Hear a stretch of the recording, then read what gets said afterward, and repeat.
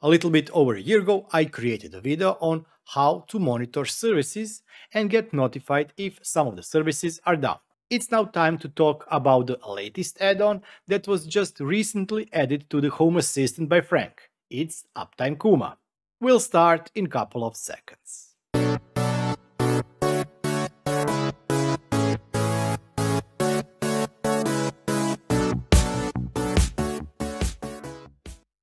Monitoring critical services or any services is really important. And I do not talk here about the commercial services only. I also talk about our internal home or smart home services.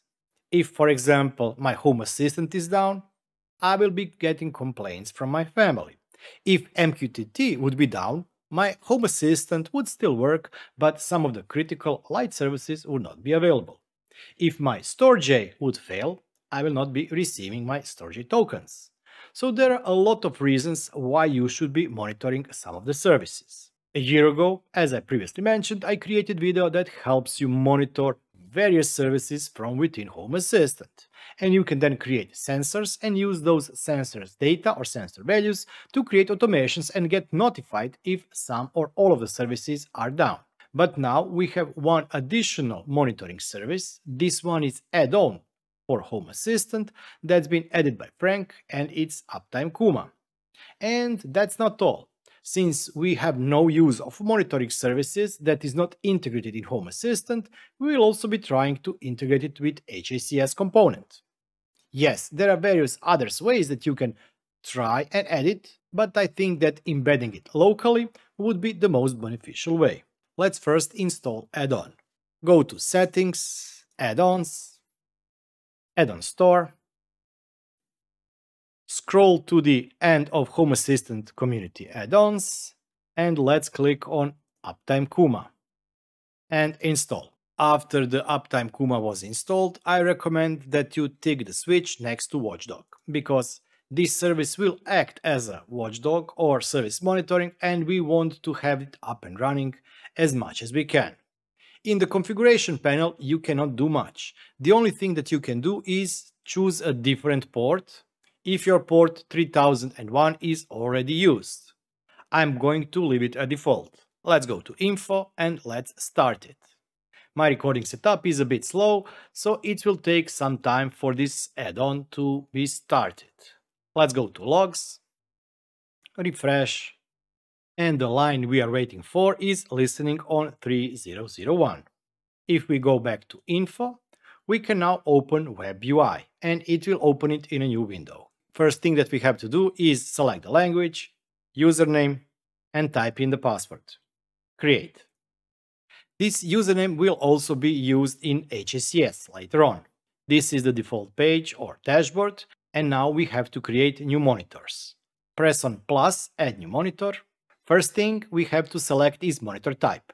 You have HTTP or HTTPS, TCP port, ping, HTTPS with a keyword, DNS, push, Steam, game server and MQTT. For the simplicity of this video, I will be creating two HTTP ones and one TCP port. Let's first add TCP port. Name will be store J1. Host name is 192.168.135 and port is 28967. Heartbeat interval is the interval between the checks. You can leave it at default, which is 60 seconds, or you can lower it. I will leave it for now the default value. If your service is down, retries specifies how many retries there will be before reporting that the service is down. I will put here 1. And the retry interval which I think 20 is the minimum value, is how many seconds there will be delay between retries. Advanced allows you to use this upside down mode. Upside down mode is something that I think is useful if you have active passive system. And if your passive mode is active, meaning up fully and running, then you will be alerted with the down status because something is wrong with your primary system. Let's press save. Here it is, Storj1, ping is 10 milliseconds and it's up and running, all green. Let me quickly add one more. My two nodes are here. But let's see how you can track your Home Assistant instance. And I have, I think, four currently running at my home. Add new monitor. We'll be using HTTP because in this case I will be using instance without the SSL certificate. Home Assistant main. I will remove S and type 1 and 2, 168, 136 with the port 8123. Heartbeat will be 60, retries 1, heartbeat interval is 20 seconds. For the HTTP, HTTPS, you have some more advanced settings. Certificate expire notification, which if you are using HTTPS with the SSL certificate can be a good thing. Ignore TLS or SSL errors for HTTPS websites is good if you are using self-signed certificates. And once again, upside down mode. You can also limit maximum number of redirects and these are the accepted status codes. Let me press save.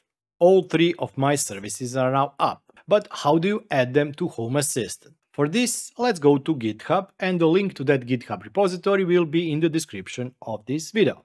It says here that this integration is temporary and is expected to soon be merged into Home Assistant Core. But until then, we have to use this HACS integration, which is a custom HACS integration and it's not directly available in HACS. Because of that, let's right-click, copy link address, and go back to our Home Assistant. In Home Assistant, go to HACS, Integrations, click on three dots, Custom Repositories,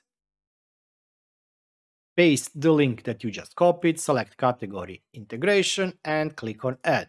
If everything is okay, now in the list of new repositories we will have Uptime Kuma available. And here it is. Click on the name, download this repository with HACS, download, and that's it.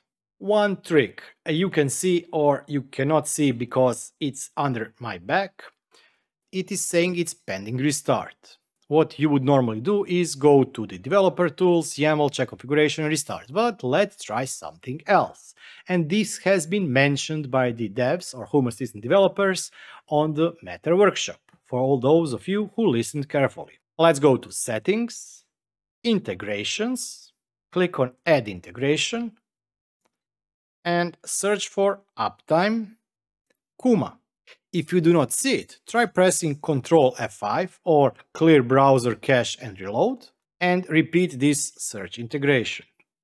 It should be available here without the restart of Home Assistant. That's a neat trick. We have to specify the host URL 192.168.1.201, port is 3001, username is the one that you specify during the install and password also, and we will not be verifying the SSL certificate. Don't forget to specify HTTP or HTTPS depending on if you are using SSL or not. Created configuration for HTTP and this is the IP address. Let's press finish. And after you've set up the integration, you should see something like this. This is a custom component integration icon and the cloud icon. Cloud is because the service itself can run in cloud, but we are using local Uptime Kuma server. If you are wondering where your data is, let's go to Developer Tools. In States, search for whatever name you type for your service. I have Storj1, Storj2 and Home Assistant main, I think. Storj1, binary sensor, it's here, it's on. Storj2, once again, it's here and it's on. And the last one was Home Assistant, I think main, this one here. For each of the monitored services, this integration is creating binary sensors. In future, there may be some additional attributes because if we check under the hood, this is the metrics page of the Uptime Kuma and this is everything that is currently available to us, but unfortunately at this point still not visible in Home Assistant. Now that we have that information available, we can go to our monitoring page and add those entities here.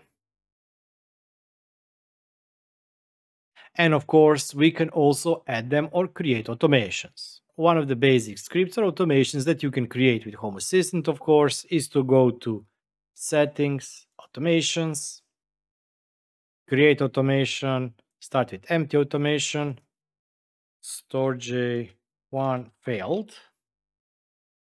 For this, we will be using state of the store J1 binary sensor to off for, let's say, 10 seconds.